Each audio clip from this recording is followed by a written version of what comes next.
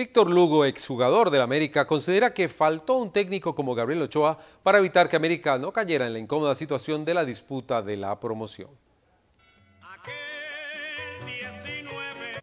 Como en aquel 19, Víctor Lugo marcó el segundo gol para el primer título del América y estuvo en tres campeonatos más, pero hoy con nostalgia sufre la triste situación que afronta su equipo. De tiempo atrás, pues América también era cierto, la, famosa mechita, pero el equipo se sostenía, no, nunca llegó a, una, a unas instancias como esta que está viviendo.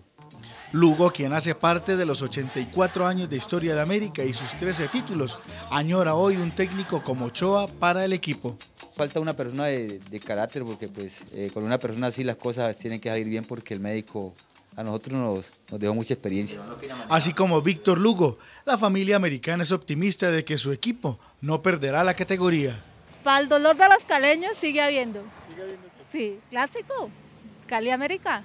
Para mí América tiene que ganarse eso porque es un, equipo que ya es... Mm, de experiencia y todo, y con, un equipo de la B. Es un equipo grande y, no se puede ir a la B. No puede pasar lo que pasó en Argentina con River. Como en los momentos de gloria, la afición escarlata acompañará el 7 y 10 de diciembre al América en los Juegos de la Promoción.